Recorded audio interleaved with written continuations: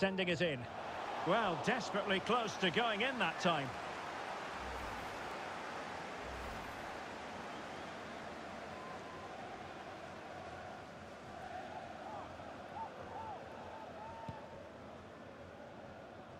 Well, I should think Arsenal fans are in a pretty good mood following this news. The contract situation... And a goal! To really bolster things for them.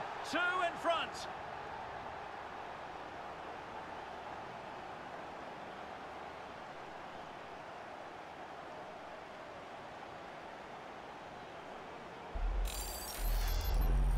Well, just look at this. It's a good finish and reward for their pressure. They really have controlled this game.